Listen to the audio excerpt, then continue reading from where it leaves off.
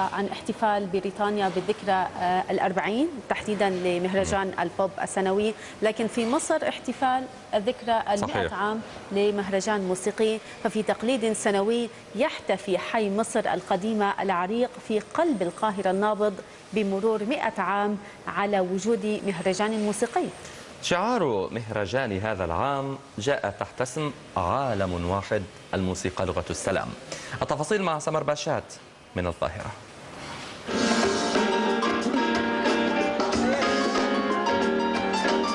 عالم واحد الموسيقى لغة السلام. تحت هذا الشعار أقيم الاحتفال السنوي لحي مصر الجديدة بالقاهرة.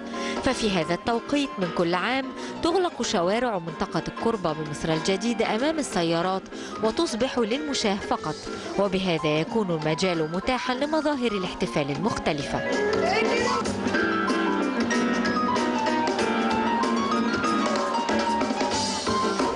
نحتفل في الشارع جو ظريف.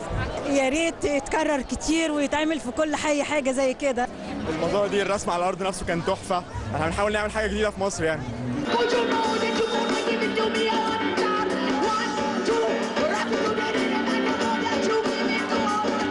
ألوان مختلفة من الموسيقى تمثل ثقافات عدة كانت أبرز ما ميز احتفال هذا العام. Today's festival was incredible, absolutely fantastic.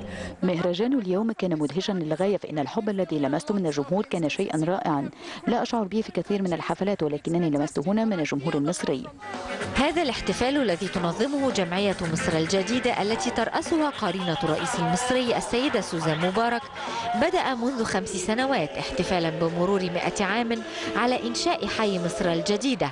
على يدي البارون البلجيكي إدوارد دومبان ومنذ ذلك الحين أصبح تقليدا سنويا في منطقة الكربة والتي ما زالت تحتفظ بالطابع المعماري الذي أنشئ عليه الحي.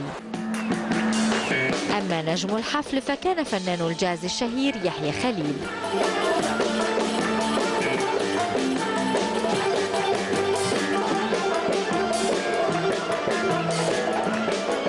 حاجة جميلة وحاجة بتحصل في كل حتة في الدنيا يعني المفروض إن يكون في مهرجانات كتير بتتعمل في الشوارع وفي الميادين. شيء جميل قوي إن إحنا نعرض الجمهور بتاعنا والشباب بتاعنا لكل أنواع الموسيقى. آه ده شيء صحي وده بيفتح وخوم مخهم ويفتح وجدانهم.